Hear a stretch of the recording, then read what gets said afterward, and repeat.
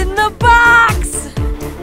It's a kid Just kidding. Surprise! Surprise! Here it comes.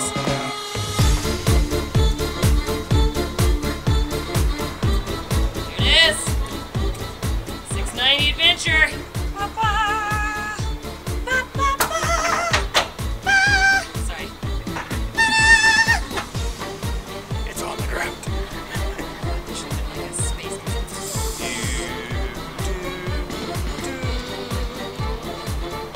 Dun dun!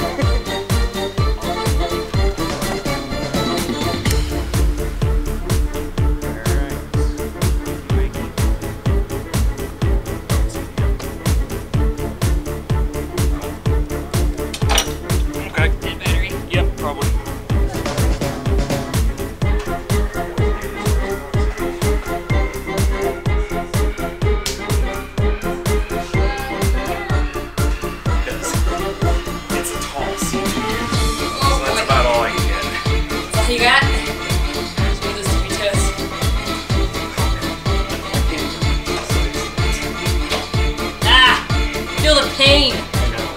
Yeah. Way up, way up we go.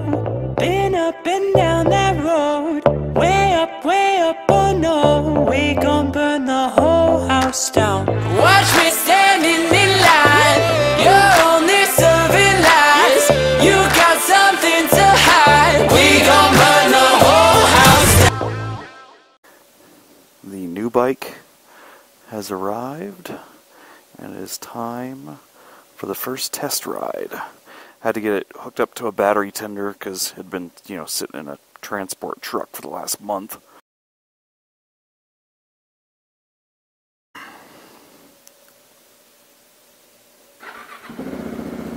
So the short version is this is a really tall bike. I may drop this thing before too long. I definitely have earplugs in because this is not a quiet bike. It's like riding a mountain bike. Good God. Oh, it is light. I've heard, uh, so okay. to provide some background here before I'm just raving about this bike. So this is a KTM 690 Enduro 2013. It has the KTM Basel Quest modification kit. It's KTM Basel. Hi, dear. Is a Switzerland-based KTM dealership, which created a modification kit to take most of the hardware and things off of a 450 Rally Factory replica and put them on a 690 Enduro. So basically, this is a 690 Enduro Rally Factory replica ish. So yeah, this this is my new bike. The 800 is going up to Denver tomorrow. I need to work on getting this registered because it's from. I actually bought this from the the guy was in California. I do have to get um, like a VIN check and some other stuff done on it before I can legally register it here in Colorado. But that's not a big deal. So for now, I am calling this bike Casper because it's a big white friendly ghost. um, there's no there's no real graphics on it right now. It's got you know a couple KTM stickers, but it's basically completely white from nose to tail. So I'm calling it Casper for now. I will be getting some graphics and uh, yeah, just kind of personalize it. I am like leaned all the way over. Where's the ground? There's the ground. Okay. This is the new bike in my life. I'm pretty fucking excited about that. Not gonna lie, it's uh, kind of awesome. This is 150 pounds lighter than any bike I have previously owned. Has more suspension travel, more ground clearance, and more capability than anything I've ever had.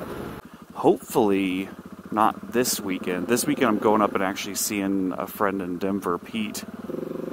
But next weekend, I am possibly doing a off-road riding course with Dusty Wessels from West 38 Moto. Um, so I hope that come, that works out because that would be a lot of fun, and it would be great to test out this bike and see what I can get into. You know, is that sheep? That is sheep. That is bighorn sheep over there, folks. I'm gonna pull over here. Awesome. Don't, you don't see those here a lot, but that's cool. So, 1, 2, 3, 4, 5, 6, 7, 8, 9, 10, 11, 12. There's 13 or 14 of them, it looks like, but those are bighorn sheep. And some of them have big horns. so, that's freaking neat. Well, that's cool. Got to see some bighorn sheep on my first ride on Casper. I've already got a fair number of accessories that I was planning on putting on here. I have a shorty clutch lever. I have a rear brake master cylinder guard because it's kind of exposed. I got to figure out what I'm going to do for skid protection on this. It has a carbon fiber skid plate on it currently, which I'm not real keen on using most of the time because I am of the opinion that if it's a skid plate, I'm probably going to use it. I don't want to break it because carbon fiber, once you give it a few hits, you're probably going to crack it and delaminate it and have issues. Lyndon Poskitt makes a skid plate for this that's aluminum that has storage containers on the sides of it that fit within the fairings, so that might be interesting. I already have mounts to be able to move this down to here so that's out of the way a little bit more. I also am going to move this to probably a ram arm mount that I'm going to put on the handlebars somewhere so that I have places to put things on the nav tower. I'm going to go up here for just a little bit, I think. Oh my god. There's a reason this is used as a race bike by quite a few people. It has, oh god damn, nope, don't crash, don't crash, don't. Okay, saved it. okay. I gotta be careful. I don't even know how fast I was going, but I was not going slow. So this bike has no ABS, no traction control, no basically electronic rider aids of any kind. It is a fully manual machine. It is not a big bike. It is under 400 pounds, fully fueled, with 8.5 gallons of gas in it. It is under 400 pounds. Barely, but it is under 400 pounds. It has 5,000 miles on it, 6,000 miles on it. Like, you know, it's hitting its first scheduled oil change. When I'm talking fully upgraded, I'm not kidding. It's Galfer rotors, both front and back, Woody's Wheelworks wheels, front and back. Um, you know, it has all the bike protection stuff, chain guard, the rotor protector. It's got all the, you know, the. Oh, there's some deer. Hi. It's got the came with the GPS, Garmin Montana, has the you know, couple of USB hookups. Can you guys get out of the road, please? Thank you. I am going through here. I'm in first now. I'm going to go to second. I am going to go through here because we did this last time. I did it on the 990 and it was a shit show. It sucked.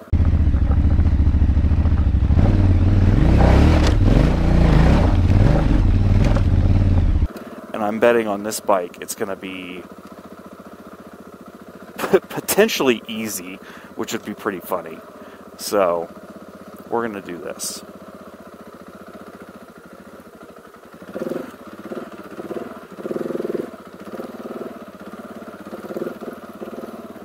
Oh my god. that was really easy. One of the other things I did get for this bike was an Atlas throttle lock. Um, it's made by a couple who I believe is from New Zealand. Don't quote me on that. I might be completely wrong about that. But they they did a round the world trip on a couple of 640 adventures. And the nice thing is because they did their trip on 640 adventures, it fits this bike perfectly. Here is the bike. Currently Casper because obvious reasons. That's a deer in the middle of the road. That's another deer. Pardon me, ladies. Can I go through, please? Thank you. Appreciate it. Yeah, the lights on here are no joke. They are all right. All right, let's see how we do at highway speeds. Okay, that's that's not bad, really. I'm doing 73. I'm at five and a half thousand RPM. I mean, if I want to go faster, it, yeah, it'll it'll go faster. Oh, so one of the modifications that I'm doing that I didn't talk about was I'm gonna have I'm gonna send the side stand off to CJ Designs and have him do his adjustable kickstand mod because as it is right now, I can't get the kickstand down while I'm on the bike. It's it's hidden underneath the exhaust, so I'm gonna send that off to him in probably a couple of weeks or something, and uh, get the kickstand modified so that I can actually use it while I'm on the bike, because that would be nice.